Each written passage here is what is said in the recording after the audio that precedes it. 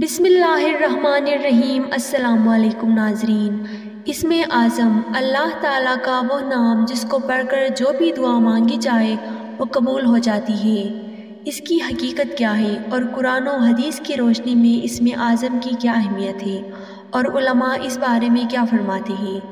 आज के इस वीडियो में हम इसमें आज़म के बारे में बात करेंगे। अल्लाह ताला का वो नाम जिसमें सारे राज पोशीदा हैं। इसमें आज़म से मुराद अल्लाह ताला का वो ज़ाती या सिफाती नाम है, जिसे पढ़ने से अल्लाह ताला के साथ खसूसी ताल्लुक़ पैदा हो जाता है, मार्फत के दरवाज़े खुलते हैं। इसमें आज़म पढ़ने वाले को अल्लाह ताला हर लिहाज से माला माल कर देता है, वो अपने रब से इसमें आज़म के वास्ते जो भी माँगता है पा लेता है। इसमें आज़म के सदक़े उसकी हर दुआ कबूल होती है। जिन लोगों के हाथ इसमें आज़म का राज आ जाता है वो अल्लाह ताला के ख़ास बंदों में शामिल हो जाते हैं।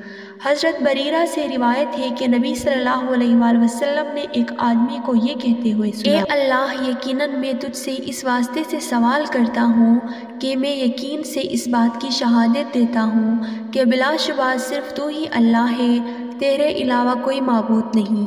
तू एक है बेनियाज है जिसने ना किसी को जना ना जना गया है और ना ही कोई इसका हम सर है।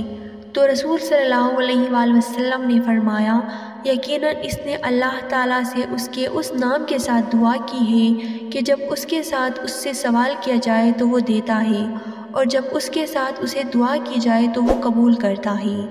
इस दुआ में अल्लाह से उसकी ज़ाती नाम अल्लाह के साथ दुआ की गई है, जिसमें तमाम सिफात खुद ब खुद आ जाती हैं। इसके साथ सिफ़ात में से इन सिफ़ात के साथ दुआ की गई है, जो अल्लाह की तोहद पर दलालत करने में सबसे ज़्यादा ऊँचा दर्जा रखती है। इसमें तमाम सिफ़ात को अगर देखा जाए तो ये सूरह अखलास में मौजूद है, जिसके मुतालिक रसूल अलैहि वसल्लम ने फरमाया कि वह कुरान के तहाई के बराबर है। अल्लाह का वो नाम जिसके साथ सवाल किए जाए तो वो देता है और दुआ की जाए तो कबूल करता है कौन सा है। बास अहादीस में इसे इसमें आज़म कहा गया है, लेकिन इसमें इख्तलाफ है। इसीलिए बयान नहीं किया गया ताकि लोग इसकी तलाश में अल्लाह ताला के तमाम असमा के वास्ते से दुआ करें और ज़्यादा से ज़्यादा अल्लाह ताला का ज़िक्र करते रहे।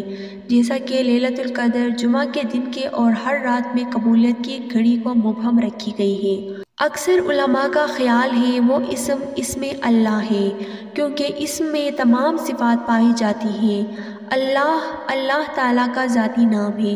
जो शख्स अल्लाह ताला को उनके सिफाती नाम में से जिस नाम से भी पुकारता है, अल्लाह ताला उस नाम के फैज़ व बरकत से ही उसको अता फरमाता है। यानी कोई शख्स अल्लाह ताला को रहमान कहकर पुकारता है तो अल्लाह ताला उसे अपनी रहमत से माला माल कर देता है और उसका वजूद दूसरों के लिए बाईस रहमत बना देता है।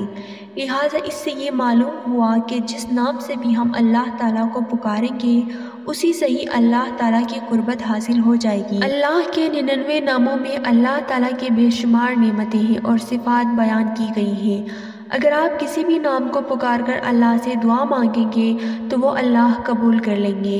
इसमें ईमान और यकीन का होना ज़्यादा ज़रूरी है। लिहाजा अल्लाह का कोई भी नाम पढ़कर दुआ की जाए तो अल्लाह कबूल फरमाएँगे। दुआ में कोशिश करना चाहिए कि अल्लाह ताला के नामों का वास्ता देकर दुआ की जाए, ताकि अल्लाह हमारी दुआओं को कबूल करे। अल्लाह ताला हम सबको इन बातों पर अमल करने की और नेक अमाल की तौफीक दे। आमीन।